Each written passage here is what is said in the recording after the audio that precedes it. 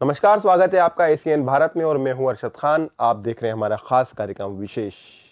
जी हाँ विशेष में आज हमारे साथ चर्चा करने के लिए मौजूद हैं इंदौर होटल एसोसिएशन के अध्यक्ष सुमित सूरी जी। हम उनसे इस तरह की बात करेंगे कि हाल ही में जो निर्णय लिया गया है प्रशासन द्वारा, वो निर्णय इस तरह का है कि तमाम बाज़ार और होटल्स दस बजे बंद कर दिए जाएँगे।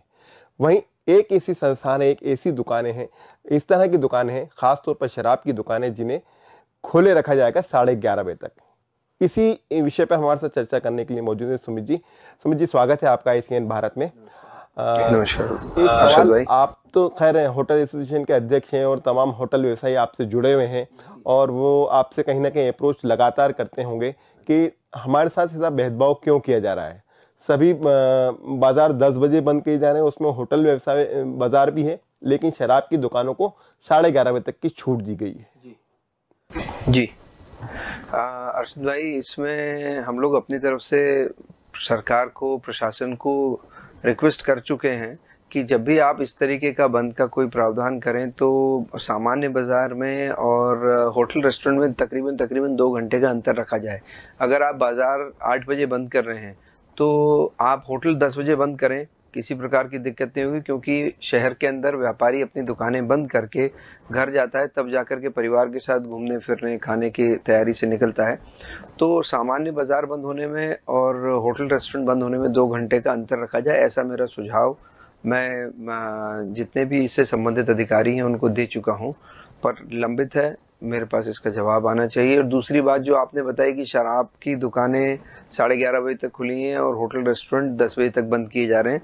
तो जैसा कि मैं समझ पा रहा हूँ ये एक्साइज ड्यूटी की वजह से करना पड़ रहा है सुमित जी एक्साइज ड्यूटी तो आपके यहाँ तो रेस्टोरेंट बार भी तो हैं फिर बार वो बार संचालित किए जा सकते हैं या नहीं किए जा सकते? मैंने मैंने वो चीज़ के लिए भी स्पेशल आदेश की मांग करी बल्कि मैंने पीएस मैडम को ये रिक्वेस्ट करी थी कि आप बार के संबंधित कोई भी निर्णय अगर होते हैं तो वो शराब की दुकान, बार, रेस्टोरेंट, इनका निर्णय एक ही तरीके से करें। ऐसा मैंने आग्रह भी किया है। मुझे उम्मीद है कि मेरी इस बात को सुनवाई होगी। तो हम लोगों को बार के साथ साथ सेम टाइमिंग के ऊपर ऑपरेट करने की अनुमति मिल जाएगी। पर मुझे जितना समझ आ रहा है कि बार भी, रेस्टोरेंट, बार भी अगर अगर बार की या शराब की दुकानें जो खोल दी गई हैं, अभी शराब की दुकान जो खुली हैं, वो भी खुली होंगी तो कर्फ्यू होने की वजह से लोग कैसे आवाजाही करेंगे, वहाँ तक जाएँगे कैसे, या उनको क्या सेल मिल रही होगी? इस बात के ऊपर मुझे मतलब बहुत बड़ा सवाल है कि क्या उनको सेल मिल पा रही है जहाँ तक आप बोल रहे हैं सेल का सवाल है और कर्फ्यू का कर्फ्यू नहीं लगाया गया है। कलेक्टर साहब इस चीज़ को क्लियर कट कह चुके हैं कर्फ्यू नहीं है। ये दस बजे तक बाज़ार बंद करने वाली बात है। तो बाज़ार बंद किए जा रहे हैं कर्फ्यू नहीं लगाया गया है। आम लोगों में ये भी भ्रांति फैली हुई है। अनावश्यक आवाजाही भी तो बंद करी हुई है। तो क्या शराब लेने जाना आवश्यक आवाजाही की श्रेणी में रखा ये बड़ा सवाल है। कि शराब लेने जाना क्या आवश्यक मतलब रोक टोक तो होगी ही कि मतलब कोई भी व्यक्ति सामान्यतः अपने खुद ही इस कारण को देने में ही शर्माएगा कि मैं सब शराब लेने के लिए जा रहा हूँ। सो so, सेल तो इफ़ेक्ट हो गई होगी उनकी भी जितना मैं समझ पाता हूँ। इस निर्णय से सेल तो इफ़ेक्ट हुआ होगा। शराब की दुकानों का भी होटल संचालकों के लिए आप लगातार लड़ाई लड़ते रहते हैं। अभी इस संदर्भ में आप किस किस से मिले हैं? क्या कमिश्नर साहब से मिले हैं? कलेक्टर साहब से मिले हैं?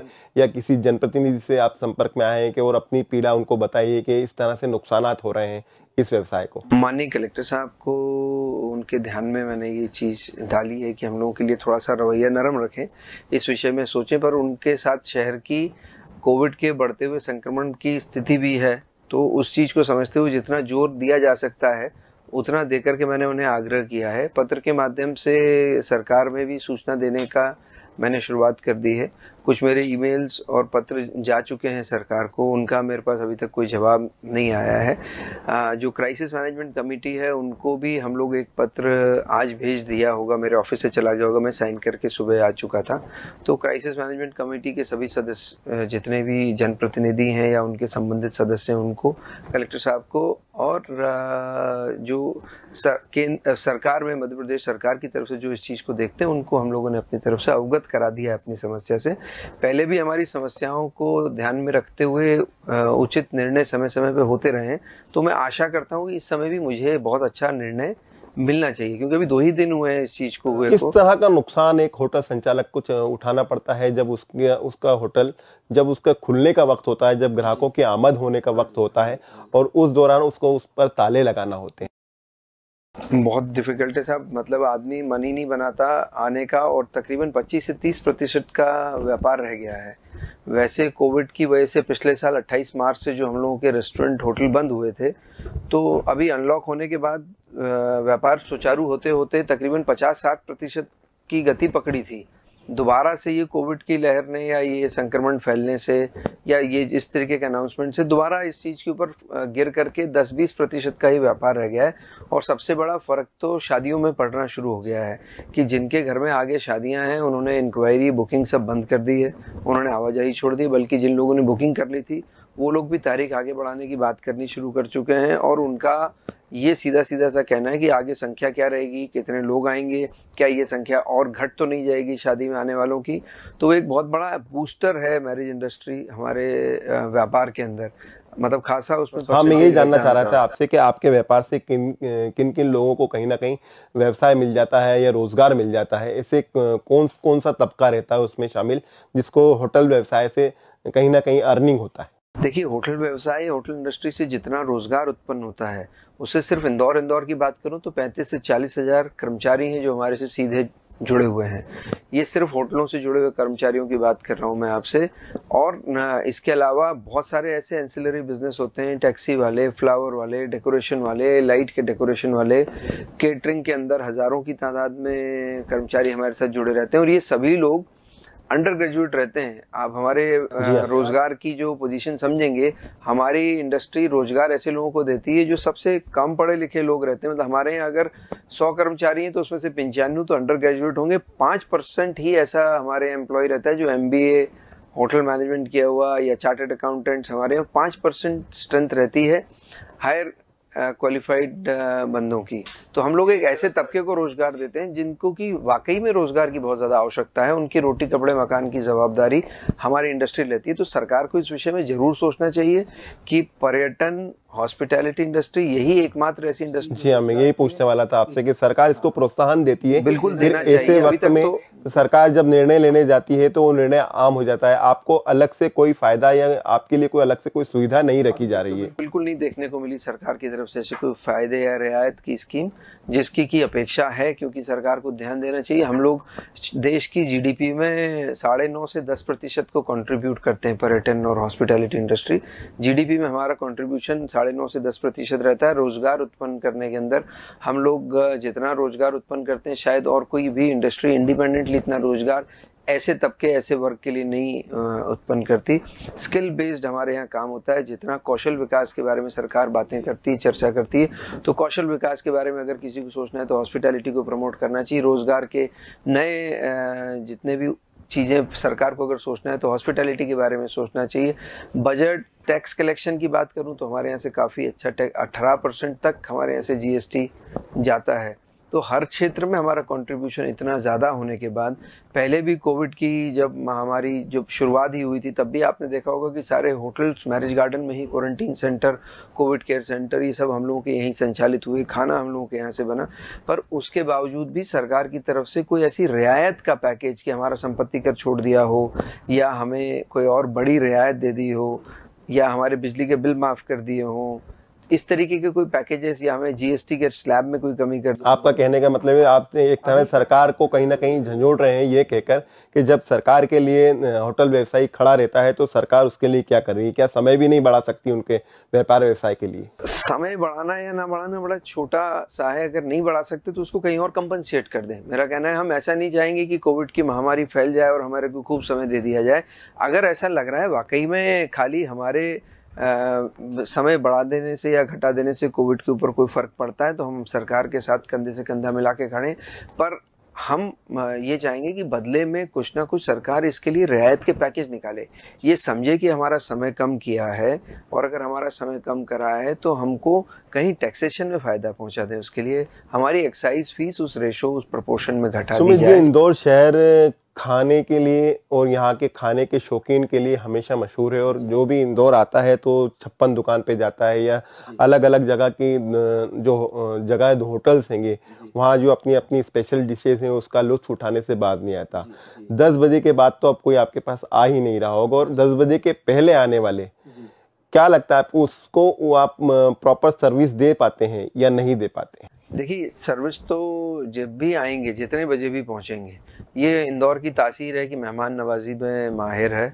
यहाँ के लोग यहाँ के कर्मचारी यहाँ के व्यक्ति मेहमान नवाजी में चाहे आप किसी वक्त भी आ जाएँ दस बजे से पहले आ जाएँ या जब आ, खुला रहता था कोविड का माहौल नहीं था तो बारह बजे भी आ जाएँ या उसके और बाद भी आ जाएँ।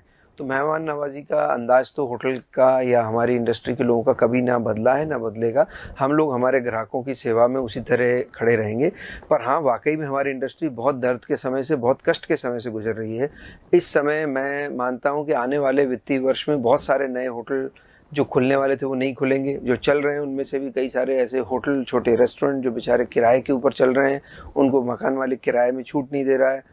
ऐसे में बहुत सारे नए रेस्टोरेंट वाले, पुराने रेस्टोरेंट वाले बंद कर जाएँगे। बहुत सारे कर्मचारी ऐसे होंगे जो शहर में बाहर से आकर के इंदौर में बसे होंगे, वो पलायन कर जाएँगे।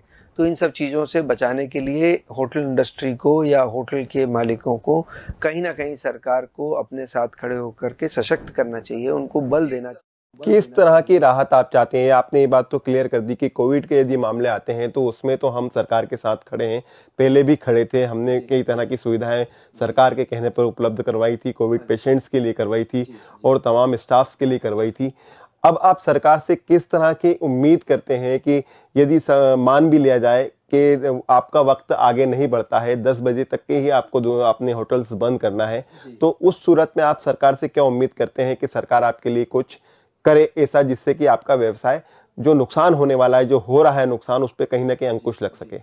बड़ा स्पष्ट सुझाव है सरकार के लिए कि हमारे पे लगने वाले संपत्ति कर के ऊपर छूट दी जाए। इस पूरे साल, जो पूरा वर्ष हमारा निकल गया या आने वाले एक साल के लिए, वो वित्तीय, जो भी संपत्ति कर की छूट मिलेगी, वो संपत्ति के मालिक को मिलेगी। ऐसे में जो किराए की संपत्ति है, सरकार उसके लिए कानून बनाए कि जो किराए की संपत्ति, जिस भी किराएदार के पास थी और मकान मालिक को अगर संपत्ति कर में छूट मिलती है तो वो छूट वो अपने आने वाले किराएदार के साथ शेयर करेगा। और इसके साथ जो एक्साइज ड्यूटी हमारे पे लगती है, उस एक्साइज ड्यूटी के अंदर भारी कमी करी जाए और जो मिनिमम गारंटी एक सरकार ने नियम बना रखा है कि इतनी शराब आपको कम से कम उठानी ही है, अन्यथा आपके ऊपर पेनल्टी लगेगी। तो मिनिमम गारंटी के क्लॉज को ख़त्म कर दिया जाए कम से कम आने वाले दो तीन साल के लिए, क्योंकि कुछ लोग तो व्यापार बंद कर चुके होंगे और जो चला रहे हैं, अगर वो इस तरीके के सपोर्ट नहीं मिलेगा तो वो भी आने वाले एक दो साल में बंद कर देंगे। ये तो रह गई बात कर से संबंधित जो था। बाकी हम केंद्र सरकार से जीएसटी में छूट की मांग करे बैठे हैं इस चीज़ के लिए। तो हमें जीएसटी में छूट के लिए हमारा इंडिपेंडेंटली कोई मांग रखना उतना वज़न नहीं रखता। मध्य प्रदेश सरकार हमारे साथ खड़े होकर के हमारी इस मांग में हमारे साथ सहभागिता करे, हमारे साथ जाए। जो हमने रिप्रेजेंटेशन दिया है, उस रिप्रेजेंटेशन की कॉपी गवर्नमेंट की तरफ़ से भी लगनी चाहिए कि हाँ हमारे व्यापारियों की मांग ठीक है। तो ज़रूर जीएसटी काउंसिल चूँकि केंद्र का मामला है तो वो वहाँ से उस चीज़ के ऊपर अप्रूवल आएगा और हमें जीएसटी की छूट भी मिल सकती है, क्योंकि अब हमारे लिए सर्वाइवल की लड़ाई है। और खाली हमारे लिए नहीं, आप एक व्यापारी को एक व्यापारी की तरह ना देखें। हर एक होटेलियर एक मैरिज गार्डन एक रेस्टोरेंट पचास, सौ और बड़े संख्या में बोलूँ तो हज़ार हज़ार एम्प्लॉय तक हैं। तो जहाँ एक हज़ार परिवार एक एक एक एक यूनिट के साथ जुड़े हुए ऐसे इतने सारे यूनिट के साथ इतने सारे परिवार जुड़े हुए सरकार को इसको एक जन आंदोलन की तरह लेना चाहिए कि हमें हमारी इंडस्ट्री को मरने नहीं देना है।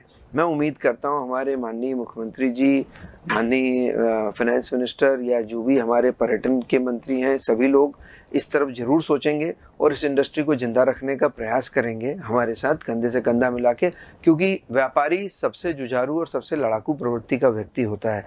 आज तक आपने जो भी कुछ देखा होगा, अगर सरकार कुछ कर रही है तो व्यापारी कर देता है, व्यापारी उसके अंदर सहयोग करता है, व्यापारी साथ खड़ा रहता है, व्यापारी रोज़गार देता है तो सरकार करती है। इस कोविड की लड़ाई में भी सरकार ने जितना करा, मैं मानता हूँ कि उसके साथ साथ खड़े रह करके एक व्यापारी भी साथ खड़ा रहा है। हर जगह एक समाज जन खड़ा रहा है, हर जगह इंदौर की जनता, ऐसे अरब पूरे प्रदेश की जनता, देश की जनता गवर्नमेंट के साथ कंधे से कंधा मिला के खड़ी है। तो जिस देश में इतनी अच्छी जनता और इतने अच्छे शासन करने वाले लोग हैं, इनको एक दूसरे का ख्याल रखना पड़ेगा।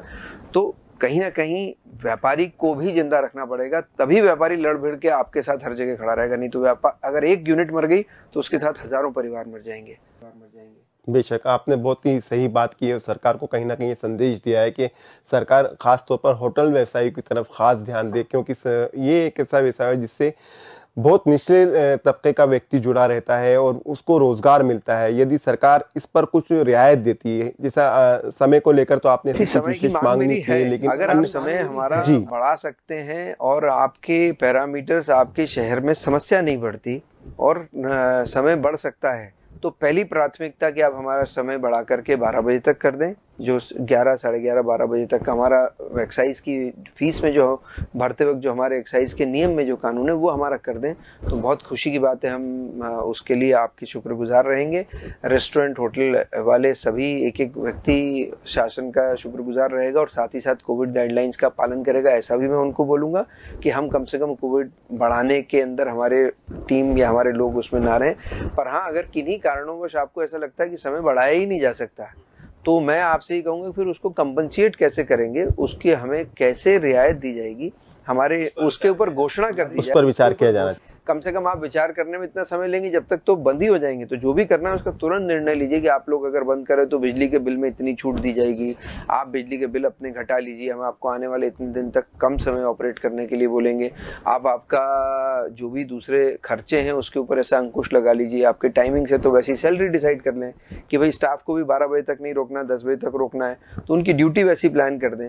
तो हर व्यक्ति एक अनसर्टेनिटी की पोजिशन से तो निकले कि कुछ भी चीज़ तय नहीं है। किसी दिन रात को उठ करके आठ बजे तक व्यापार करना है, किसी दिन दस बजे तक करना है।